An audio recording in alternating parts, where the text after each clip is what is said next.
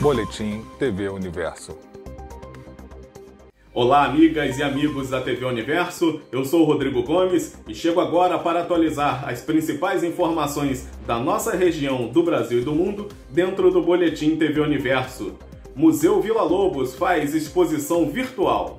O Museu Vila Lobos disponibilizou na internet uma exposição sobre a música brasileira dos anos 1940. É o resultado de uma expedição americana liderada pelo maestro Leopold Stokowski, com músicas, fotos e documentos da gravação que serão vistos gratuitamente pelo Google Arts.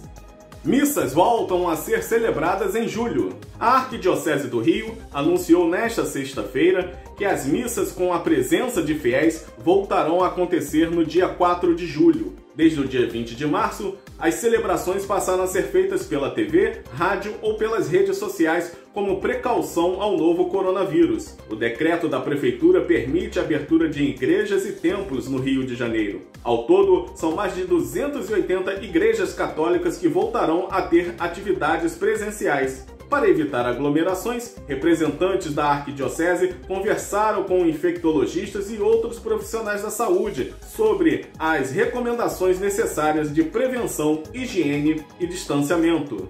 E assim a gente encerra mais um Boletim TV Universo. Siga as nossas redes sociais, o arroba TV Universo 32 para ficar bem informado. Tenham todos um ótimo final de semana, cuide da saúde, cuide da família e até uma próxima oportunidade.